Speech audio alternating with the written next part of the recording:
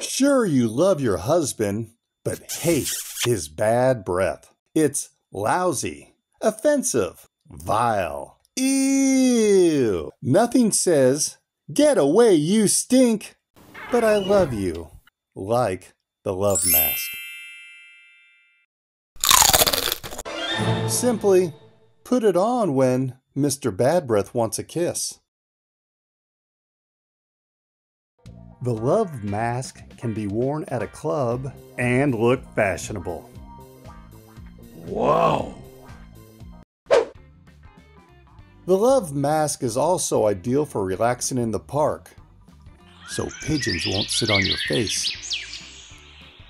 Order the love mask today!